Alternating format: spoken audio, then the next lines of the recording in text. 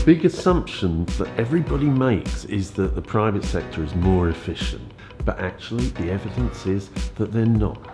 We have to be thinking big and bold, and thinking about what we do about public ownership is one of the key pieces to the new vision, the new world that we might want to see.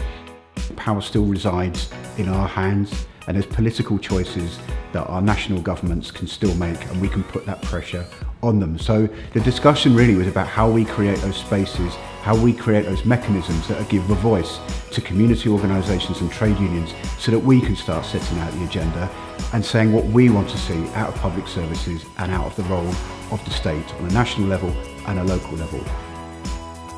The trouble with privately owned digital spaces is you're not sure who owns the value, who extracts the value.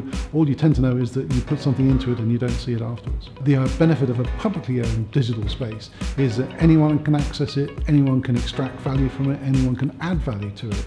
It can be seen by everyone and everyone can understand what its limits are. My vision for public services that are a public but not just public in the formal sense, but also public in the sense of the public being really present, the people.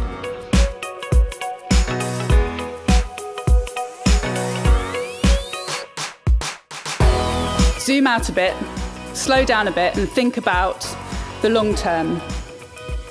Don't just think about your children, think about your grandchildren and your great grandchildren and what their future will be like.